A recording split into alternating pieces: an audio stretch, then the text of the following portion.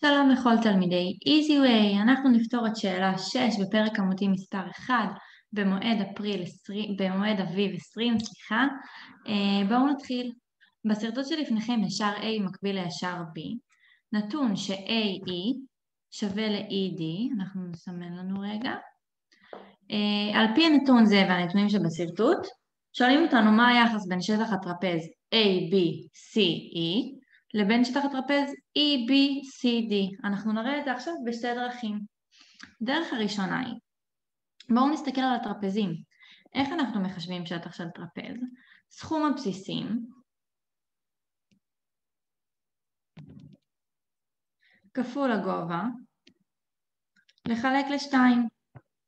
אז אם כל בסיס שלנו שווה כאן x והבסיס הזה שווה ל-BC סכום הבסיסים שלנו הוא x, למשל בטרפז הראשון ABCE, x ועוד BC, כפול age, הגובה, חלקי 2. גם שטח הטרפז השני הוא x ועוד BC כפול age, חלקי 2. נעשה אוזניים.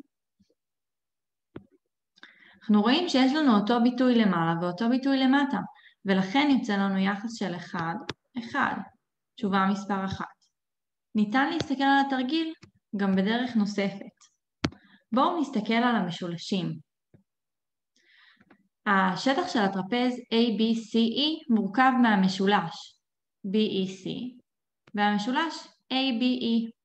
השטח של הטרפז EBCD מורכב מהשטח של המשולש ABC ומהשטח של המשולש ADC. אנחנו יכולים להסתכל רק על המשולשים הקטנים. המשולש AE והמשולש ED נמצאים שניהם בין ישרים מקבילים. הגובה של שניהם הוא H והבסיס שלהם שווה, לכן השטח של המשולשים הקטנים יהיה שווה. ולכן השטח שלהם יהיה 1 ל-1. זהו, זה הכל.